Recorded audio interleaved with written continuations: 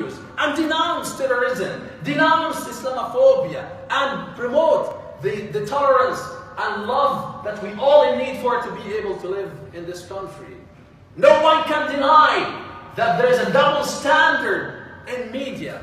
When it is an action of certain members who claim to be Muslims, we see the media always associating Muslims with terrorism. But with the last act of terrorism was done by, super, by a white supremacist, we did not hear that this is an act of terrorism from Christians or Jews. We need to make sure that the media is playing a role, a constructive role of promoting peace and tolerance and love. That's what we're hoping that the media is going to be doing. After all, you have a major role it's not the time to talk about and criticize media, but we hope that they're able to do something and be more constructive from now on. And at the same time, at the same time, we need, as Muslims, to understand, though that many of us are traumatized, though we have this fear in the back of our mind, as this is not the first incident of terrorism to places of worshipping and merely speaking mosques, and we know that there are other actions of terrorism have taken place in Pittsburgh to a Jewish synagogue and other places of worshipping. As we know that in the mountain, a, a, a Hindu temple was also burned down as a result of nothing but hatred and racism. We need also to be mindful and aware as Muslims we're true believers that Allah Azza wa is the one who created us. And He's the one who controls our life. And Allah Azza said in the Quran clearly, وما كان لنفس أن تموت إلا بإذن الله كتابا مؤجلا ومن يرد ثواب الدنيا نؤتيه منها ومن يرد ثواب الآخرة نؤتيه منها وسنجزي الشاكرين No one, no one have a say at the end of their time. No one have a say when they will be leaving this life. Brother, it is destined. Brother, it is decided. Brothers, it's ordained for us. This is all ordained for us in advance. We pray to the mighty Allah Azza wa Jal that He have accepted those who were killed as being martyrs, as being shahada, because they were devout Muslims who have made their way in a blessed day, which is Friday, to a blessed place, which is the mosque. And they were in the state of purity. They were faith, they were they were coming towards God the mighty Allah Azza wa Jal. And they were afterwards murdered. We pray to the mighty Allah Azza wa to accept them as shuhada. But at the same time, we need to believe that, that we need not to allow the fear to creep to our hearts, to our minds, and to stay always positive and firm that the one who gave me life is only the one who can take and end my life.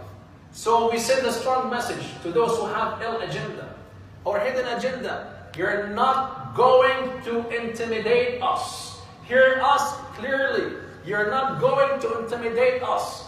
Our mosque is going to be always open, and we all going to be coming to the mosque and to worship God the mighty Allah Azza wa Jal, along with our children as you can see right now. And our doors are going to always be open to all the guests and the friends from our neighborhood and from everywhere. As always has been the case, and I have said it all the time, all the friends are welcome to attend our Friday ceremonies at any time without any prior notice because we promote nothing but love and we promote the deen of Allah Azza wa Jal, the religion of, of God, the mighty Allah Azza wa Jal. But at the same time, we need to acknowledge that we are indeed going through a very difficult time.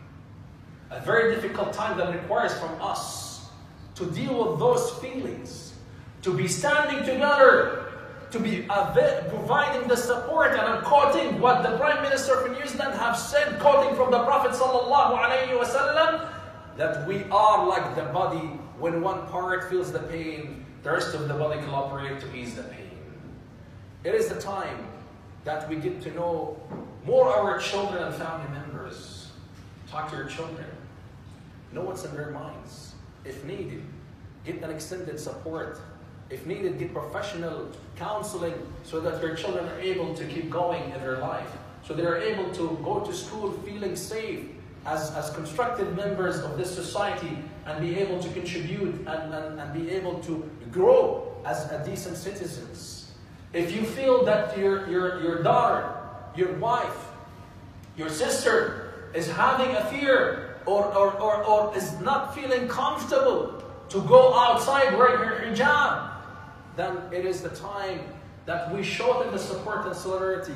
And I do, and I do command, and I do praise. The, the, again, the people of New Zealand who have put the hijab on Friday, uh, all to show support to Muslim women and to those who have been following with the news. There are sisters who were living in New Zealand who did not feel comfortable putting the hijab, and they said for the first time, because of the act of our Prime Minister and the rest of the people in the country, we are now proud to put our hijab on. I send a message from this member to every sister who is putting her hijab outside in public and say to her, you deserve my respect. You deserve my support because I am very proud of you as a sister, knowing with the climate we're living in that you could be potentially target for racism and discrimination or even violence. I salute you and I support you. And I would tell you, we are behind you to give you the support you need so you're able to continue to walk with your head up with your hijab on. May Allah bless you and give you the strength and support. Allahumma ameen. We need to go back to the Quran and find out how the mighty Allah Azza wa Jal have advised us to deal with difficult situations like this. ادعو إلى سبيل ربك بالحكمة والموعظة الحسنة وجادلهم بالتي هي أحسن. إن ربك هو أعلم من ضل عن سبيله وهو أعلم بالمهتدين And then Allah Azza wa Jal says وإن عاقبتم فعاقبوا بمثل ما عوقبتم به ولئن صبرتم لهو خير للصابرين. واصبر وما صبرك إلا بالله. إن الله مع الذين اتقوا والذين هم محسنون. Allah Azza wa Jal the Mighty. Wants us to rise above the feelings, wants us to rise above all the all the all these hatred and, and, and, and, and revenge feelings and to communicate and deal with people with passion. But in the position, the position, the position and stand of strength. When we forgive and when we say that we're not intimidated, we're not doing this because out of weakness. We are doing this knowing that we are being supported by the mighty Allah Azza wa and we do have the ability to defend ourselves. But we choose to be compassionate and we choose to be to be kind and merciful to others around us. And that's what the mighty is saying to us. You do have the ability to, to nail back those who have who have hurt you, but if you were to be compassionate and to forgive, this is better for you. As Allah has with those who are muhsin. Not kind, generous, but muhsin, above and beyond the level of kindness. And Allah Azza wa says in Surah Al-Baqarah, وَاصْبِرُوا حَتَّى يَأْتِيَ اللَّهُ بِأَمْرِهِ Be patient until Allah Azza wa Jal will ordain something. But what should we do with Minawani Rabbi? How can we deal with this difficulty we're living in? It is extremely difficult. How should we deal with it? وَأَقِيمُوا الصَّلَاةِ وآتوا الزكاة وما تقدموا لأنفسكم من خير تجدوه عند الله إن الله بما تعملون بصير. Brothers and sisters, though we're living in a materialistic environment, though we always want to feel things in our hands, but the mighty Allah is just saying to us, there's a spiritual dimension in your life that you need to pay attention to. There's something that you need to be mindful about. Challenges, difficulties, Fear can be dealt with with salah. Salah. Salah is our refuge. Our refuge from this dunya to the spaciousness of the akhirah. Salah is what will bring comfort to our hearts and mind. واستعينوا بالصبر والصلاة وإنها لكبيرة إلا على الخاشعين الذين يظنون أنهم ملاقوا ربهم وأنهم إليه راجعون We need we need to rise and be from those who Allah said about واستعينوا بالصبر والصلاة إن الله مع الصابرين. May Allah Azza wa Jal enable us to be able to engage in a not any kind of salah. It has to be a salah of khushu'. And that khushu' is only obtained if you were to believe firmly. If you were to bring to your conscience as you stand between the hands of the mighty Allah Azza wa Jal, that one day you will be standing in between his hands for real in the akhirah, in the day of judgment. Once you feel that, once you're able to absorb, once you're able to feel every word you recite from the Quran, then you will be able to feel the legacy and the power and the empowerment of Salah and the comfort of the Salah in your life. And one important thing, which many of us might not feel the impact and might feel, might be wondering what's, how, how, how is that related to the difficult situation we're living in? وَآتُوا الزَّكَاةِ Spend. Spending in the cause of Allah Azza wa Jal, the Mighty, is what will bring ease and comfort to your heart, is what will help to deal with difficult situation.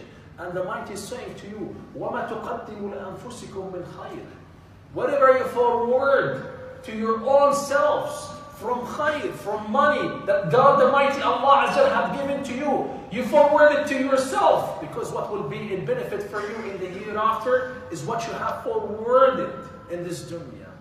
You're entrusted by Allah Azza wa in this wealth that you have in your hand. And the Mighty is asking you to use that wealth to, to forward it to your real life and to make this as a tool that will bring comfort to your heart, will bring protection to you, to your children.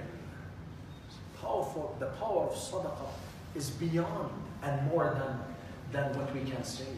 Sadaqah tudfi'u ghadab. It's, it extinguishes the anger of, of, of Allah.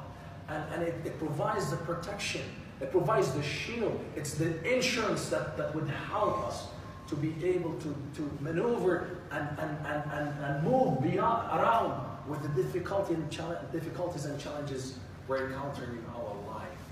Let us be from those who, who would go beyond only spending a few coins in the masjid. Though I encourage you, as we're speaking in this masjid, the roof is leaking. And, and it, we need not to wait for a bigger you know, problem to, to take place. We need to deal with this problem and spend uh, with the intention that Ya Rabbi, I am giving to your house, Ya Rabbi, make it easy for me and for my children and my family. And we need to go beyond that to share what we have to everyone around us. To those who are less fortunate in our society in which we're living in. There are those who are less fortunate. There are those who are living in poverty. If Allah has not given to you, share what you have with those around you so that the Mighty will make it easy for you. So that we could have this, this connection and the bond with everyone around us. And we can feel that we are truly one body. We're truly one nation. May Allah Azza wa the Mighty give us the ability and chance to be able to go through this very difficult time safely and help us to be able to, to, to, uh, to, to, to raise our children and, and to bring ease into their life. Allahumma وأقول قولي هذا واستغفر الله لي ولكم فاستغفروه في وسط